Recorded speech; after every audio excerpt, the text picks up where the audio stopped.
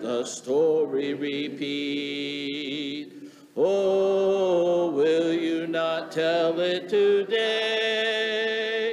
Will you not tell it today? If the light of his presence has brightened your way, oh, will you not tell it today? If the souls all around you are living in sin, if the Master has told you to bid them come in, if the sweet invitation they never have heard, oh, will you not tell them the cheering word? Oh,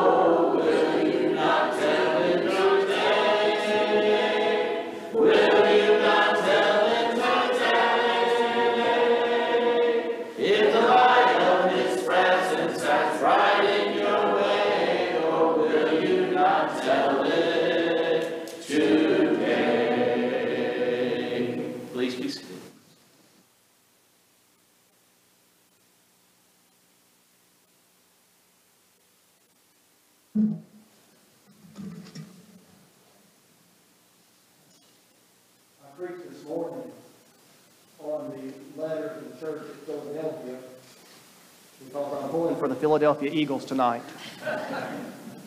And Jesus did not write a letter to the church in Kansas City.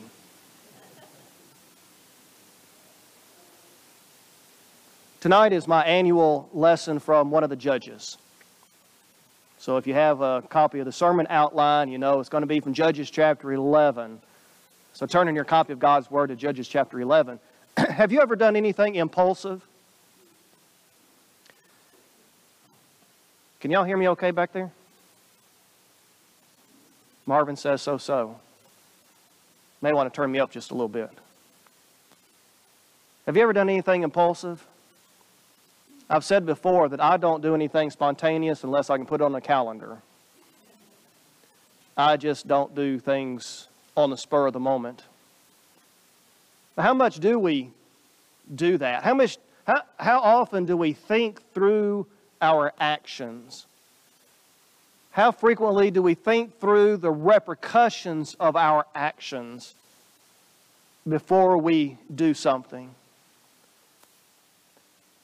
Jephthah is a judge that we're going to look at tonight. And you know the story of the judges, how for a period of time they are faithful to God, maybe for decades. But then when things go well for them, they turn to sin. They turn their back on God.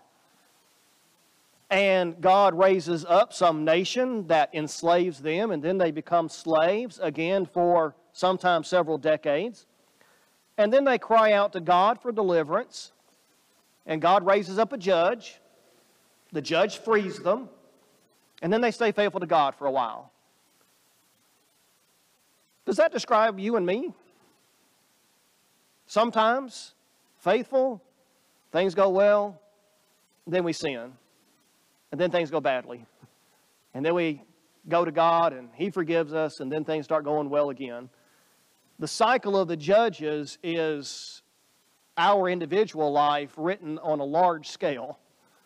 The, the whole nation of Israel is like that. And so we look at uh, Jephthah tonight, and, and in chapter 11, we see what was going on with the, the judges before Jephthah comes along. Now, Jephthah is mentioned 29 times in the Bible. Most of those times are here in chapter 11. He's mentioned in chapter 12. Uh, Samuel will refer to Jephthah in 1 Samuel chapter 12 in a speech he gives.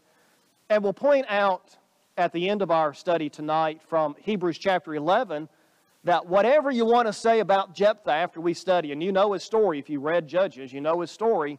Whatever we want to say about Jephthah, he's listed in the hall of the faithful in Hebrews chapter 11. And sometimes that causes us to scratch our heads what God saw to praise in Jephthah. Now, before we get to chapter 11, I want to point out some things in chapter 10 because the historian, whoever he may have been, set some things up in chapter 10. Notice in verse 6 of chapter 10 that the sons of Israel did evil in the sight of God. They forsook the Lord and did not serve him at the end of uh, verse 10. And so the anger of the Lord burned against Israel, and he raised up the nation of Ammon, the sons of Ammon. The sons of Ammon afflict Israel and crush Israel, verse 8, for 18 years. Which means that if you were born at the beginning of that period of time, you are graduating from high school before you stop serving the Ammonites. That's a long time. So you're a high school graduate and you haven't known anything but serving Ammon. And so the sons of Ammon are oppressing Israel, and Israel cries out to God. And notice what God says in verse 11 Did I not already deliver you? I delivered you from their hands at the end of, at the end of verse 12. And then in verse 13, God says, I'm not going to deliver you anymore. I'm sick and tired of being sick and tired of your foolishness. And God says, You go cry out to the gods that you serve. Go ask the God of the Moabites and the God of the Ammonites, all of these other gods. You go to them for deliverance. You bunch of knuckleheads. You can just see God saying that, can't you? Verse 16 says that they cried out to God so much that God could not bear the crying out any longer, and God acts. You remember Jesus gives us the parable in uh, Luke chapter 18 about the persistent widow. Persist and persist and persist, and God will finally give in. Here's the Israelites persisting and persisting and persisting. God saying, no, no, no. And then God says, okay. Because God's a God of love and He's a God of forgiveness. So, chapter 11 is the story of Jephthah, who leads Israel to freedom from the Ammonites. But the story of Jephthah that we remember is not him leading the, the Israel to freedom from the Ammonites. It's that vow that he made. And I think that vow, because it takes up so much of the text in chapter 11, that's the reason why God gives it to us. And that's why we're studying that tonight. When you were a child, did you tell uh, what are called anti jokes? They're jokes that they're funny, but they end with somebody dying or somebody getting an appendage cut off or something like that. And you laugh because it's funny, but then you think, oh, I shouldn't be laughing because some tragedy happened. Well, it's called an anti joke. Well, Jephthah is the anti judge. He's known for a bad thing. He's not known so much for the good he did. He's known more for the bad he did. So let's begin reading verses 1 through 3, we have an introduction to Jephthah. The historian says Jephthah the Gileadite was a valiant warrior. He was a valiant warrior, and the historian tells us that because that's the reason why the men of Gilead, the elders of Gilead, go after him to lead them in the battle against Ammon. So that's an important point to remember. But he was the son of a harlot. And the reason why that point is brought up is because that leads his brothers to kick him out. They send him away. Notice what happens. Gilead was the father of Jephthah. Gilead's wife bore him sons. When his wife's sons grew up, they drove Jephthah out and said to him, You shall not have an inheritance in our father's house, for you are the son of another woman. So, because he was the odd man out, he, he was uh, not the the legitimate son of his dad, then his other brothers drive him out. And they say, You're not going to inherit our father's inheritance along with us. And so, verse 3 Jephthah flees from his brothers, and he lived in the land of Tob, which interestingly in the Hebrew language means good. So he lived in a good land. But worthless fellows, literally, the Hebrew says empty fellows, empty men, gathered themselves about Jephthah and they went out with him. Now, the historian brings that point up to help the reader understand that Jephthah is a warrior and Jephthah is a leader. So these worthless men follow Jephthah's leadership, and going out and coming in refers to uh, going out to battle, going to plunder other villages. Maybe the Ammonites, it doesn't matter who they plunder at this particular point, is simply showing that Jephthah was a leader and he was a valiant warrior. But now we come to the problem with the Ammonites. And that's why Jephthah is brought into the picture. So, beginning in verse 4, we have in the face of war the elders of Gilead, the family that drove Jephthah out, go to Jephthah and say, uh, We need your leadership. Verse 4. It came about after a while that the sons of Ammon fought against Israel. When the sons of Ammon fought against Israel, the elders of Gilead went to get Jephthah from the land of Tob, and they said to Jephthah, Come and be our chief, that, that we may fight against the sons of Ammon. Now, the, the word chief here probably refers to a military leader, and we probably drew that from the context. I'll bring that point up because we make another point in just a moment. So, verse 7 Jephthah said to the elders of uh, Gilead, Did you not hate me and drive me out from my father's house? So, why have you come to me now when you are in trouble? Okay, I see you're in trouble. Now you're coming and asking at my door. What's the deal?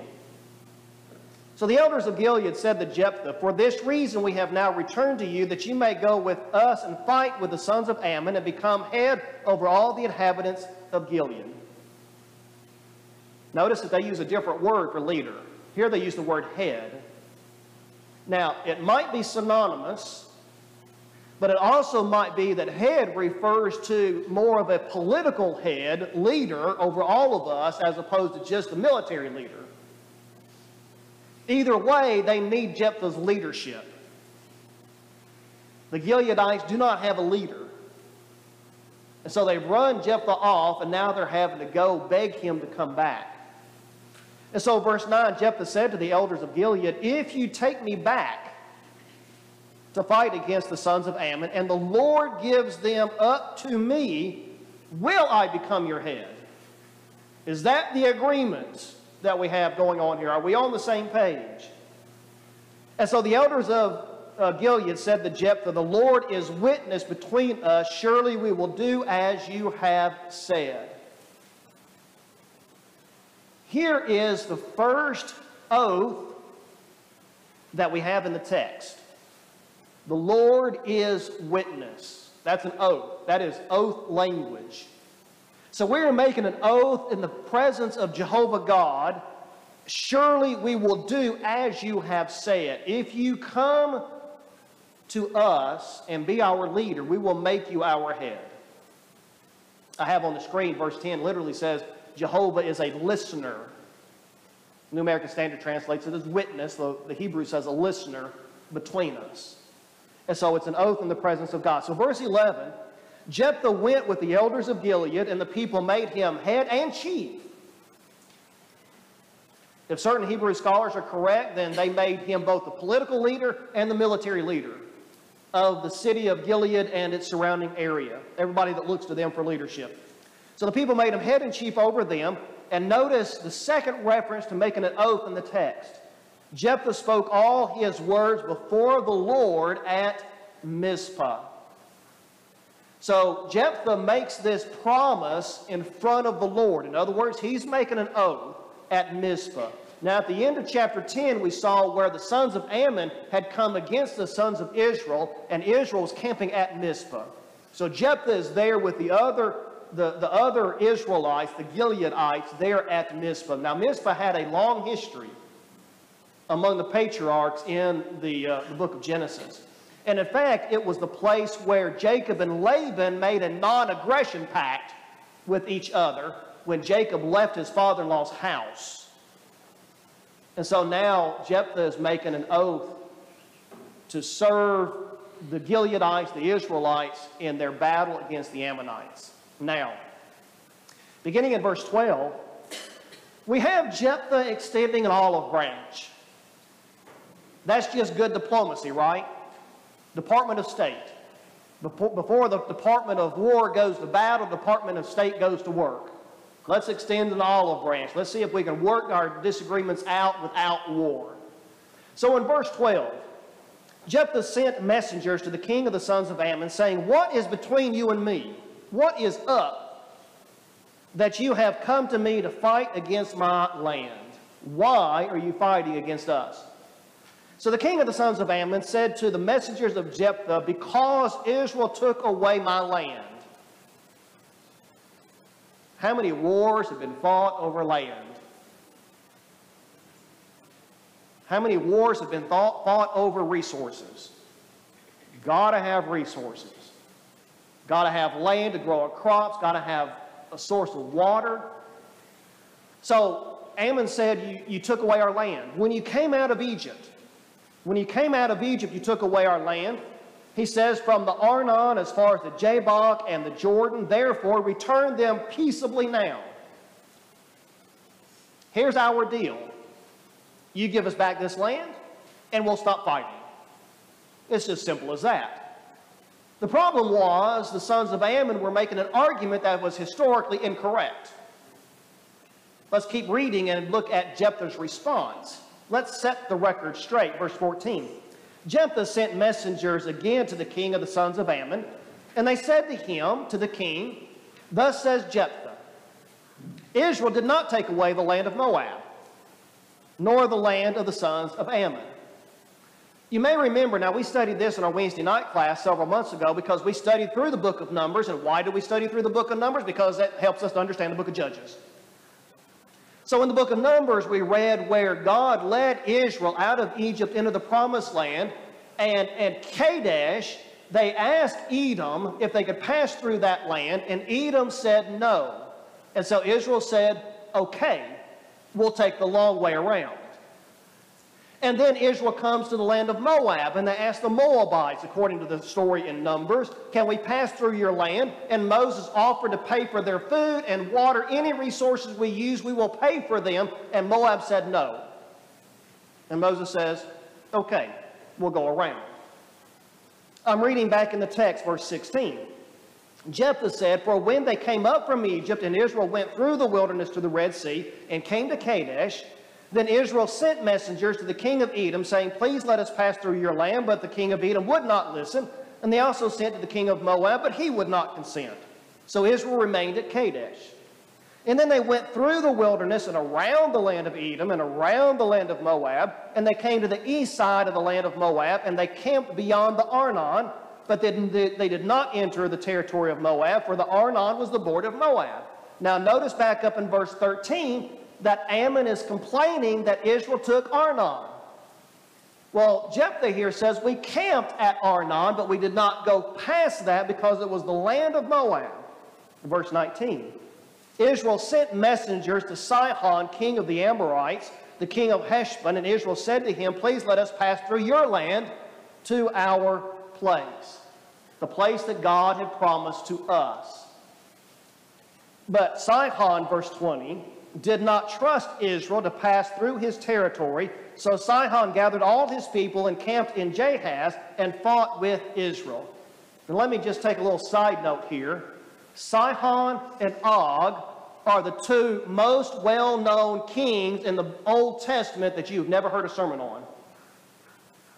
Those two men are mentioned over and over and over again in the Old Testament, and I have never heard a sermon on, and I've never preached a sermon on them. But it was an event in the life of Israel that God felt was important enough to remind Israel over and over again that I defeated Sihon and Og at your hands. And that's why you need to trust me and obey me.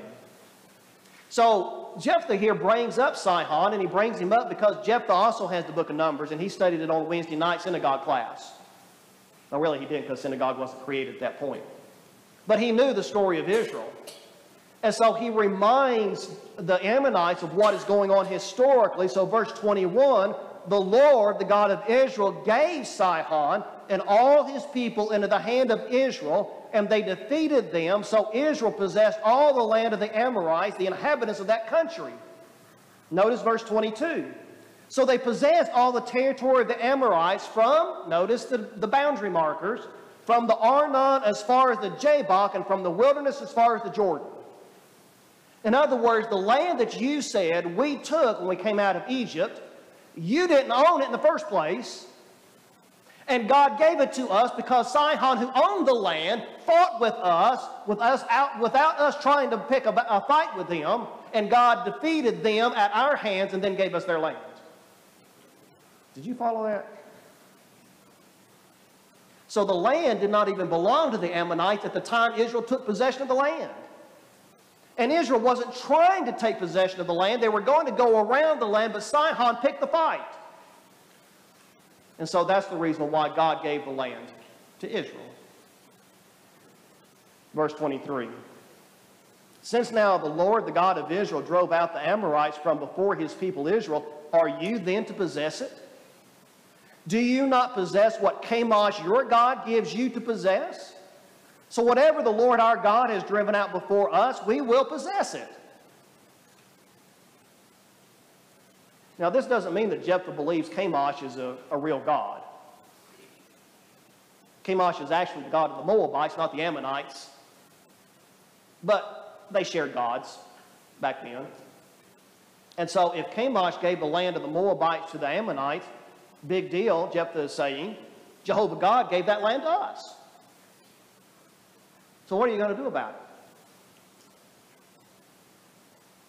So whatever the Lord our God has driven out before us, we will possess it. That's verse 24. Verse 25, now are you any better than Balak, the son of Zippor, king of Moab? Now y'all remember that story, right? That's Numbers chapters 22 through 24. Did he ever strive with Israel or did he ever fight against them? Balak didn't. He tried to get Balaam to curse Israel and he failed, remember? While Israel lived in Heshbon and its villages and in Aroer and its villages and in all the cities that are on the banks of the Arnon 300 years, one of the very few chrono chronological references in the Old Testament. So this puts Jephthah living around 1100 BC, 1200 BC. If Moses led Israel out of the land of Egypt around 1500 BC. Those dates are notoriously difficult to pinpoint.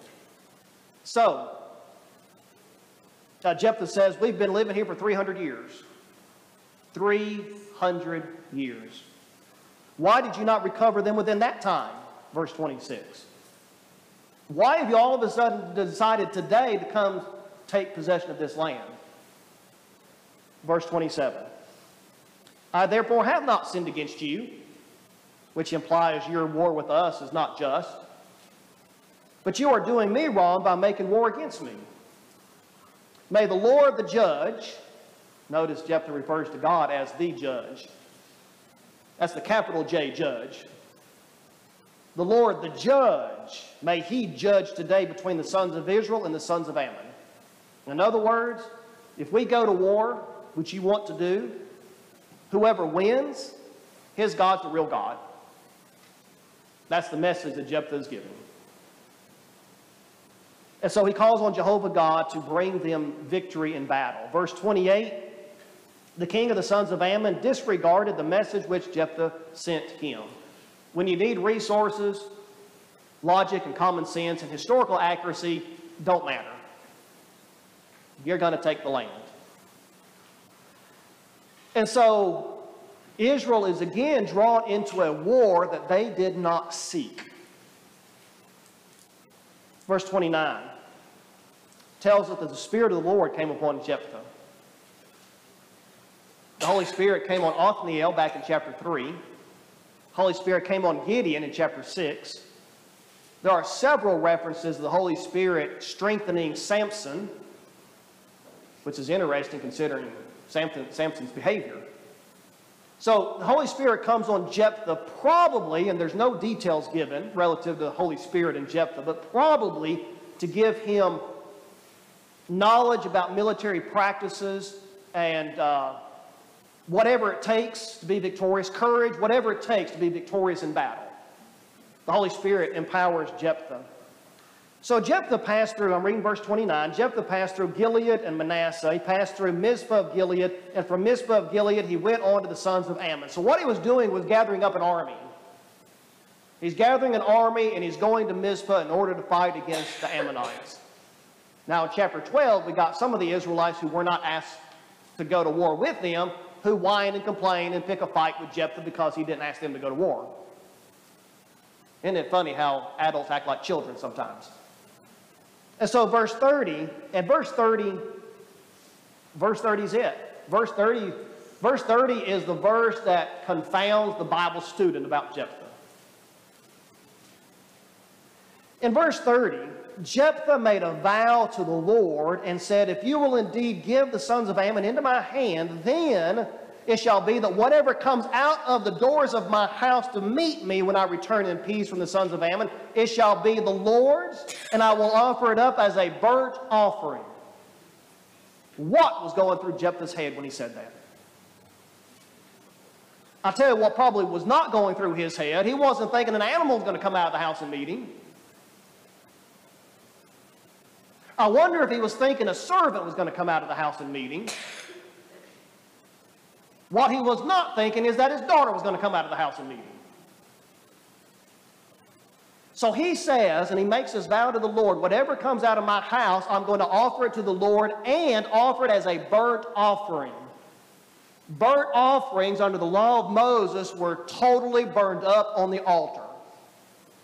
Bones and meat, everything was burned up on the altar. The Hebrew word actually gives us the English word holocaust.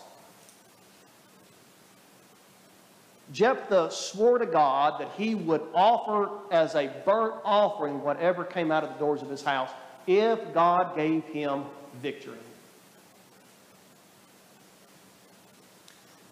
So Satan has now instigated this war.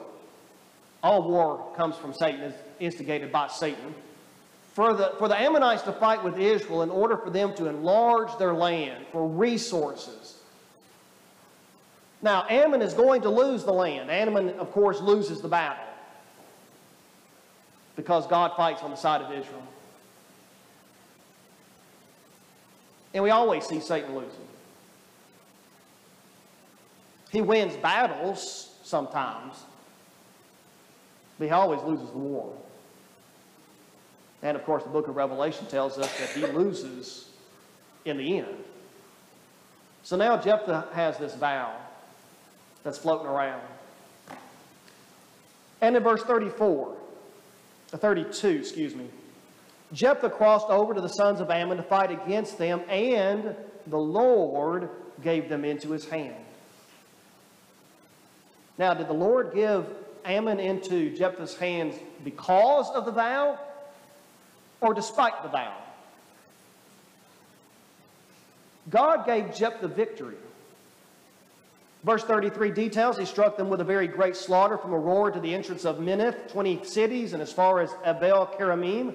So the sons of Ammon were subdued before the sons of Israel. They came fighting for land, and they don't not only lose the land they wanted from Israel, but they lost their own land, or at least part of it. Notice the passage on the screen from Numbers. Moses spoke to the heads of the tribes and the sons of Israel, saying, This is the word which the Lord has commanded. If a man makes a vow to the Lord, or takes an oath to bind himself with a binding obligation, he shall not violate his word. He shall do according to all that proceeds out of his mouth.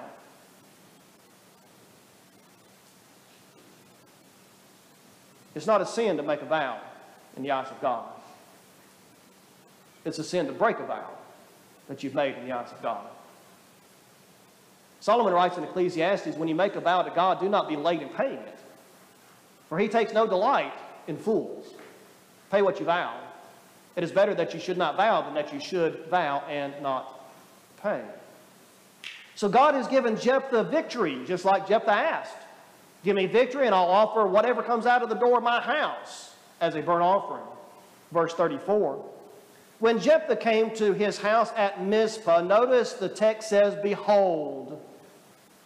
If we were uh, among the original audience and we were listening to this story being told or being read out of a scroll, that word behold would draw our attention. It's like a preacher pounding on the pulpit. Listen to this. What happens? His daughter.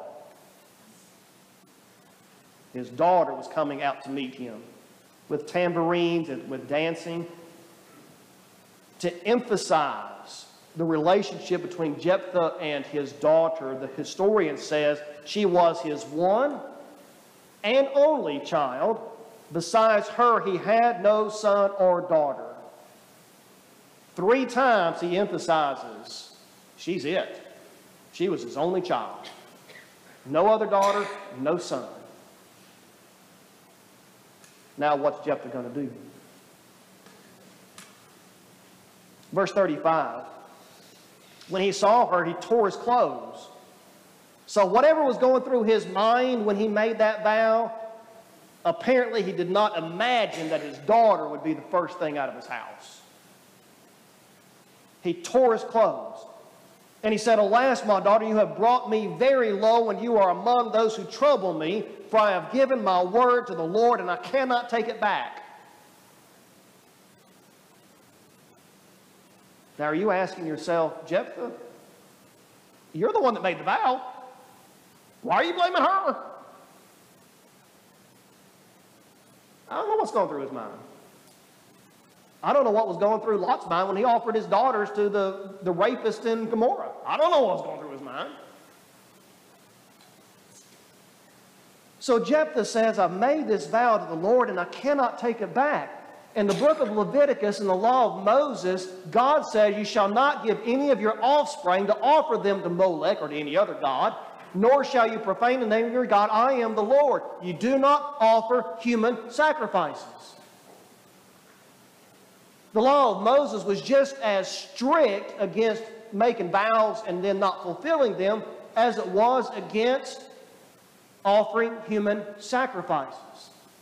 Again, Leviticus chapter 20, verses 2 through 5. We won't take the time to read that text there. But the law of Moses was adamant. You don't offer human sacrifices, they cannot take away sin. In verse 36, the daughter says to him, My father, you have given your word to the Lord. Do to me as you've said. And that doesn't that make you want to say, Do you know what he said? Do you understand the implications of this? Since the Lord has avenged you of your enemies, the sons of Ammon. Dad, do what you promised. She said to her father, verse 37, Let this thing be done for me. Let me alone for two months, that I may go to the mountains and weep because of my virginity, I and my companions. He said, Go. So he sent her away for two months, and she left with her companions and wept of the mountains because of her virginity. At the end of two months, she returned to her father, who did to her according to the vow which he had made. If you're counting, there are six references to vows in this chapter. Four of them are references to the vow that Jephthah made. And then the other two that I mentioned earlier in the chapter. Four references to that vow. For some reason, that's the reason why this story is in the Bible. Because of that vow that he made. And that he kept that vow. Verse 39 At the end of two months, she returned to her father, who did to her according to the vow which he had made. She had no relations with a man, and he offered her as a burnt offering. That's the only conclusion I can draw. I wrote this sermon two weeks ago before we left to go to lectureship. I've meditated on it for the last 10 days or whatever. I can draw no other conclusion than that he put her on the altar and he lit a fire under his daughter. And he heard her screaming, and he smelled her burning flesh because he made this rash vow to God. Thus it became a custom in Israel, verse 40, that the daughters of Israel went yearly to commemorate the daughter of Jephthah the Gileadite four days in the year.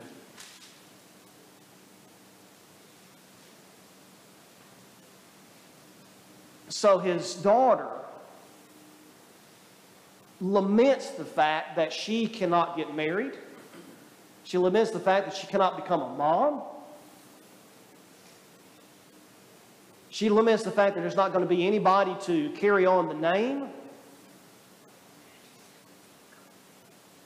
And the daughters of Israel remember as a memorial for four days each year the daughter of Jephthah, and what happened to her. Now, we don't have any other reference to this, so we don't know how it played out in reality in Israelite history. This is it. This is all the story we have of it. And so I ask myself, why did God want this story in the Bible? Both for the Israelites and for every generation after them that would read this story. Why? Why does God dedicate 10, 12 verses to this vow? Now, back in Leviticus chapter 27, there seems to be a method of dealing with undoing a vow in Leviticus chapter 27. Now, how that text relates to this situation, I don't know. If I had had an ignorant spell like Jephthah did and did something stupid like that, I would have been going to the high priest and say, Talk to God for me to get me out of this mess I put myself in. Isn't it great sometimes? Don't you make some bad decision sometimes and then somehow or another God works it out in your life where you don't feel the consequences of that stupid decision? It happened to me. And I think, wow, I'm glad God's watching over me because I'm an idiot. Just because somebody is sincere, as Jephthah was, does not mean they're making right decisions in the eyes of God. Jephthah is anxious to win over the Ammonites. Jephthah is anxious for that. Jephthah wants to lead his, his, his compatriots to victory. He probably wants to be the head and chief over his family that kicked him out. He probably wants legitimation. He wants vindication in the eyes of his family. I'm guessing the motivation for making such a vow. But he made it. And then rather than trying to figure out some way to undo it, he fulfills it. And he offers a human sacrifice.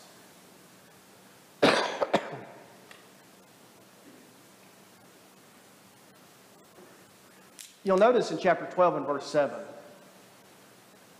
in contrast to the other judges, after Jephthah rules as a judge, they don't have decades of peace.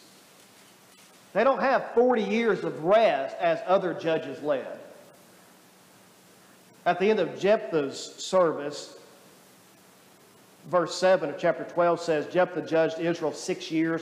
Jephthah Gileadite Gileadite died and was buried in one of the cities of Gilead, and that's the end of the story. No rest, nothing positive that comes out of it as far as the text is concerned. They subdued Ammon, but for six years. But then you've got that pesky verse in Hebrews just when we want to walk away from the story and say Jephthah was an idiot and he made a bash row and he's probably burning in hell, the Hebrew writer praises his faith. Hebrews chapter 11, verse 32. Now, what do you make about that? Does the story of Jephthah teach us that God can use us to do good despite the bad we do. Just like with Rahab. A lot of people want to point to Rahab to the fact that she lied and say, look, we've got, you can lie in certain situations because Rahab did and God praises Rahab. God didn't praise Rahab for lying. He praised Rahab for her faith, for her trust that the God of Israel is going to take over the land, and she begs the, the Israelite spies to save her life. The Bible praises Rahab's faith, not her lying. I think that's what we've got going on here with Jephthah. Hebrews 11 praises Jephthah's faith. He believed God could give him the victory.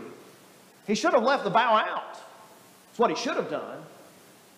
And of course, having made the vow, then he should have gone back to God and said, Man, I messed up. How can I undo it? And let God give him an answer rather than taking the decision in his own hands. And that's another story for us today. Rather than trying to give good answers to religious questions, we should give Bible answers to religious questions. Go back to God and quote God. You can't mess up if you quote God. So we see in Jephthah that even good guys have flaws. One of the appealing characteristics about the Marvel movie characters is that the good guys have flaws and the bad guys have redeeming qualities. a lot of times in the Marvel movies and Marvel comic books, and, and I subscribed to Spider-Man and a couple of West Coast Avengers, and a couple other comic books when I was a kid. A lot of the bad guys have a history behind them that makes you sympathetic to their behavior. It doesn't justify their behavior, but it makes you sympathetic towards their behavior.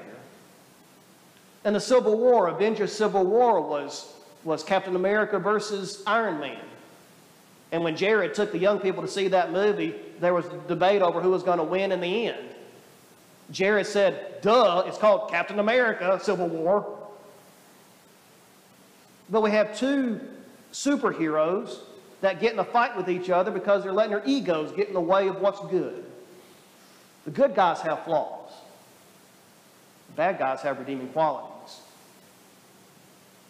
Even the worst of the worst have probably some redeeming qualities. So I think God, through Jephthah, brought rest to Israel, even if it was only six years, despite that bad decision he made. Now, you and I are not in the same category as Jephthah as far as that's concerned, but we still have our flaws. I think the message Jephthah gives to us today is that God can still use us, even though we've got the flaws. If we're willing to allow God to use us for His glory, He can do it. We just have to submit to Him, do His things His way, and He'll use us. As you reflect on your life tonight and decisions you've made, if you need the prayers of the church, if you need God's forgiveness for anything in your life, the elders stand ready to pray for you. The church is ready to pray for you. If we can help, let us know. Let's stand and sing. All things are ready some more. than